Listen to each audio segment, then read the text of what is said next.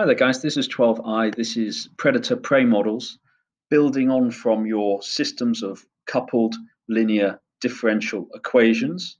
So this is really your applications and interpretations part here.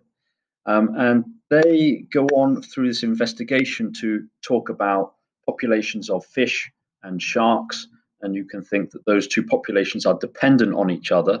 So will change over time dependent on the other population size as well, which is all exactly what we've been dealing with.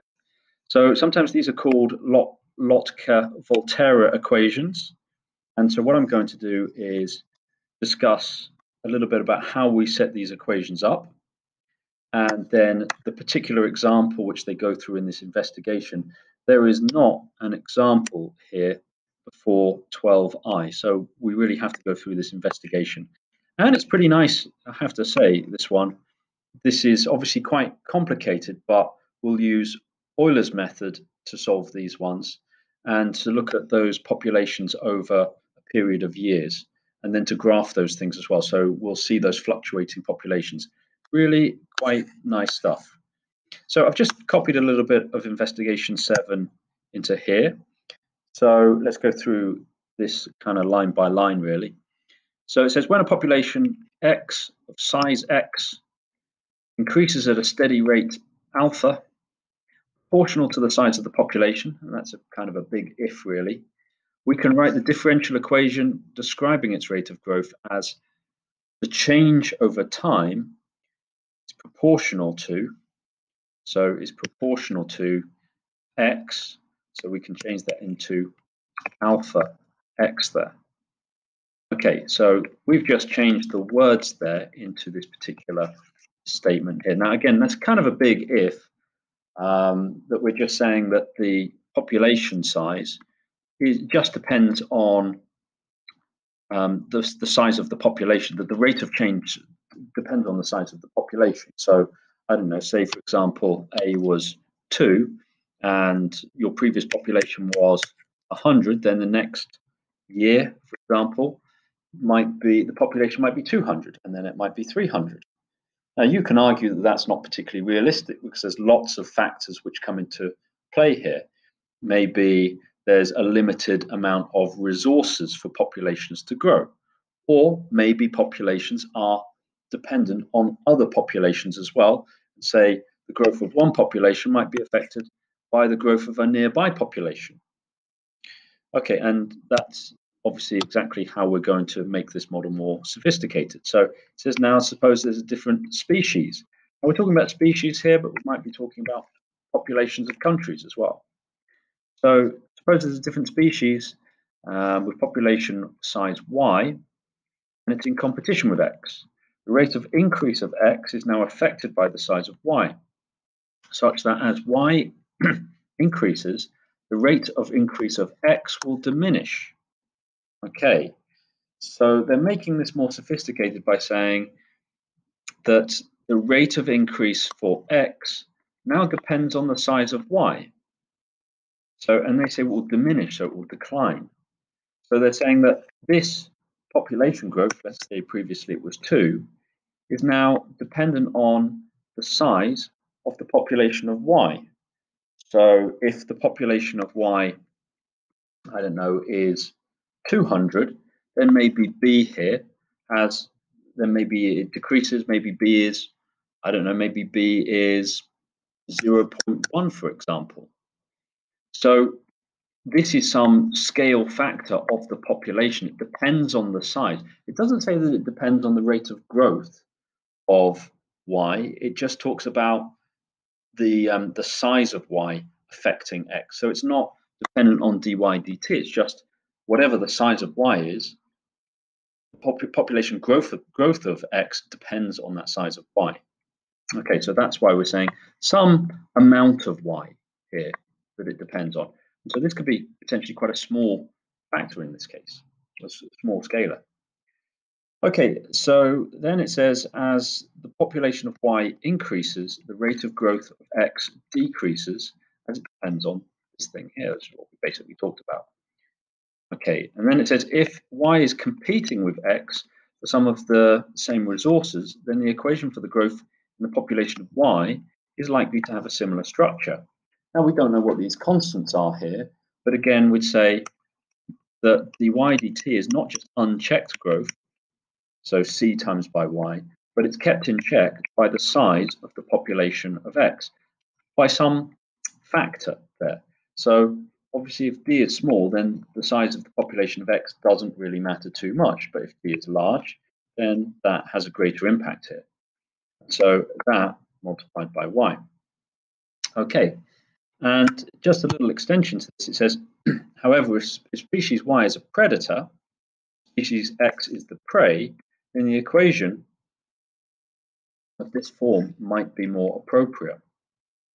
Okay, so let's unpack that a little bit. So it's saying that the population increase of this predator species will depend on the population size of the, um, the, the prey, so how much of the prey there is, and some scaled version of that. So you know, if there's a thousand uh, fish, for example, then it might have some scaled scaled up factor there, maybe 0.1 of a thousand. I'm not sure what it is, but it's dependent on the size of the population of the um, prey. Multi, uh, take away dy. So so that would be, if you like, if it was if there was no um, population x, then dy dt would simply be equal to minus dy. So it would be, this would be declining over time. So the population would be going down over time, but because obviously there's no prey, so so obviously the population would decrease in size over time if there's absolutely no prey. But the increasing factor is if there's more prey, then we can say we've got cx time is dependent on that size of the population, and on cx. Now, um, this potentially could work. It's just that C here would be positive and D would be positive in this situation. And it's nice to keep those constants to be positive because um, essentially this is the same equation as this. It's just, of course, we've just made the, um, we've swapped around the signs really. So we're essentially trying to keep those, the C and the D, those constants positive. Okay, so let's look at the particular example here. So it's talking here about this population of fish and it's talking about finding two equilibrium positions. Now, these are not mentioned here. There is no little box to tell you how to work out equilibrium positions, but that's fairly straightforward. And then after that, we, uh, with the initial conditions, we then need to use Euler's method with an incredibly small step size, 0.02, and then we're going to take it up to three years. So I've just copied this one across and you can see in this question, they've already given you the formulas. You might be asked to explain them, of course, and obviously we've just talked through these things, but we can write these in other forms here. We can call this 3x and 1 minus y. We can call this one uh, y and x minus 2. So we can just rewrite it in a different way. And so for the first part where it says find the two equilibrium positions for the populations of fish, sharks? Well, that's when dx dt and dy dt are going to be equal to zero. So we're saying both dx dt and dy dt are going to have to be equal to zero. So what makes these two things equal to zero? Well, you can easily see that when x is zero, y is zero. Um, so when x is zero rather and y is zero, both of those two things is going to be zero. So one of your equilibrium positions is no fish and no sharks. So neither population is going to go very far if there is none of either. So that makes sense as a, an equilibrium position to start off with. And then also, we can get a zero out if we make this bracket equal to zero here as well. So when y is equal to 1, and likewise when this bracket is equal to 0 as well, so when x is equal to 2. So there's the two equilibrium positions. And it would seem that when there's 2,000 fish and 100 sharks, we've got uh, sharks in hundreds there, then that's the equilibrium position, which kind of sounds sounds a, a, little silly to be honest, because you'd think you'd need a lot more fish than uh, shark. Uh, but there you go. That's what it's saying. That this, these are the two equilibrium positions. Okay, but it says initially there are 3,000 fish and 20 sharks. So this here, our condition, we've got t is equal to zero, and x is equal to three because that's measured in thousands, and y is equal to 0.2. So that's our initial position. Okay, and now we're going to use Euler's method here with a step size of 0.02, uh, and we're going to show the next step and so on. Okay, so this is where it gets good, and this is what I've done on the spreadsheet already. So I've just kind of gone a step forward here, and you can see that I've put in the initial conditions of 0, 3, and 0.2. And I've also put in here the formula, which is x is uh, changes from the previous x value by doing previous x value plus 0.02, that's the step in terms of time, times by uh, dx dt, and that was your dx dt, 3x minus 3xy. Check that one out again. We had 3x minus 3xy. And here again, we've got xy take away 2y, so you'll see that in the next one. So xy take away 2y is your dy dt there, there's the original dy, um, y value. There's the step length again. Okay, so we've got our formulas in, just like before, and I've just copied these ones down, and I've obviously copied these ones down as well, and I've gone up to gone up to three, uh, gone up to three there. Okay, so time is three, so we've got up to three years, and you can see there's our years on this axis here, and we can see what's happening with our two populations. So you can see that originally the fish population goes up to 7.5-ish. Okay, so there's clearly not very many sharks, and the system can sustain many more sharks. Okay, so remember that our equilibrium positions were 2,000 fish and 100 shark. So, um, so yeah, the system could sustain many more fish. Now, when we got to 100 sharks, you can see that that was an equilibrium position there. And but as soon as the shark started going slightly over there, we could see that the fish started to decline.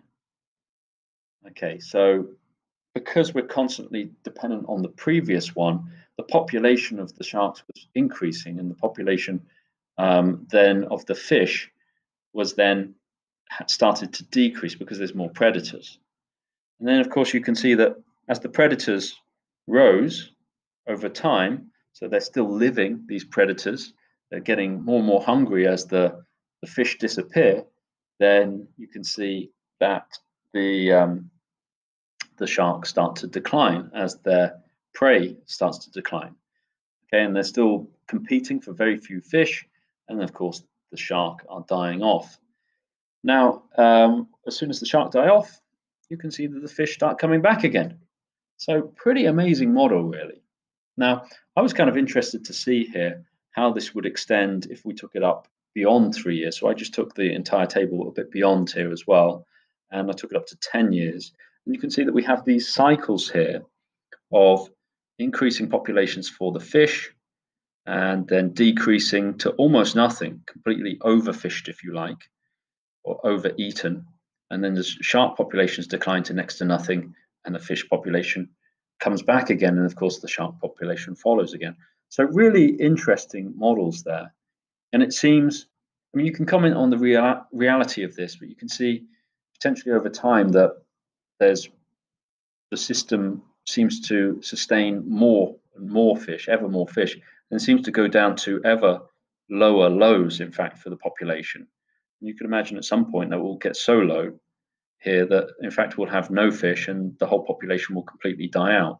So you can say over time that this is maybe not a realistic model and there's potentially more factors involved here.